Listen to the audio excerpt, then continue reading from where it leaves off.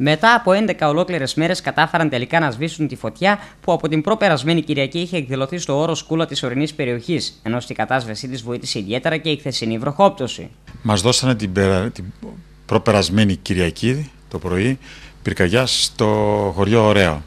Ε, ξεκίνησε από εδώ η έξοδος, φτάνοντα είδε ότι ήταν πάνω σε πολύ δύσβατο μέρος. Κινητοποιηθήκαμε.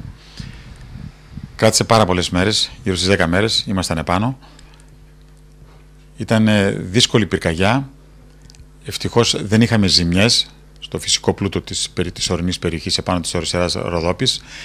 Ε, αυτό που και εγώ ήταν το φύλλωμα χούμος το, από το φύλλωμα της οξιάς το οποίο ήταν περίπου σε ύψος 40 με 50 εκατοστά.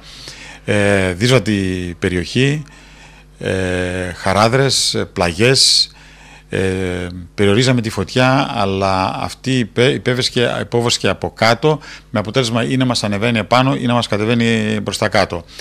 Ε, ξεκινήσαμε από το ωραίο, ανεβήκαμε στην Κούλα, στο Γυφτόκαστρο και στο τέλος ε, φτάσαμε στο Δημάριο. Ε, την πρώτη τελευταία μέρα ενώ είχαμε υποέλεγχο τη φωτιά στο Δημάριο μας ε, προέκυψε μια καινούργια αιστεία στη θέση Καλύβα στο Λιβαδίτη.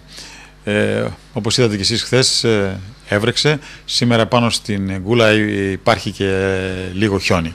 Κλείνοντας, ο κύριος Γενιτζέ, πέρα από τους φορείς που συμμετείχαν και συνέβαλαν τα μέγιστα στην κατάσβεση της φωτιάς, θέλησε να ευχαριστήσει ιδιαίτερα τους κατοίκους των οικισμών Ωραίο και Δημάριο, οι οποίοι σε καθημερινή βάση ήταν δίπλα στους πυροσβέστες και βοήθησαν ιδιαίτερα στην αντιμετώπιση της πυρκαγιάς και στη μη εξάπλωσή της.